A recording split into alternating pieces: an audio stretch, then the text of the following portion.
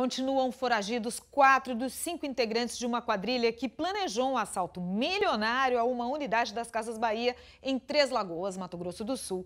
Um dos bandidos foi preso em Pereira Barreto, aqui na região de Araçatuba.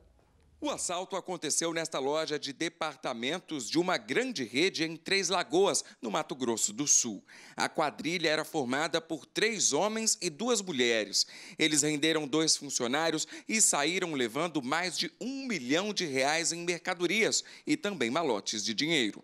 A perseguição ao carro, usado na fuga por dois dos assaltantes, começou em uma rodovia de Itapura, já no estado de São Paulo, a cerca de 40 quilômetros da cidade cidade onde o crime aconteceu. Poucos quilômetros depois, a polícia decidiu usar um treminhão para bloquear a rodovia. No asfalto, ainda dá para ver as marcas deixadas pelos pneus do veículo. De acordo com os policiais, os bandidos estavam fortemente armados e um deles, ao perceber que estava cercado, reagiu. O indivíduo que estava dirigindo o veículo desceu com arma em punho, motivo pelo qual houve a necessidade de realizar disparos e nenhum disparo atingiu ninguém, ninguém ferido. Não. Os disparos acertaram a lataria e os pneus. Um dos ladrões que estava no carro fugiu pelo matagal e o outro se entregou. Ele tem diversas passagens pela polícia e foi levado para a delegacia de Pereira Barreto.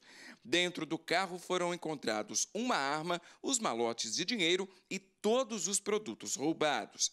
A polícia ainda procura outras quatro pessoas que teriam participado do assalto.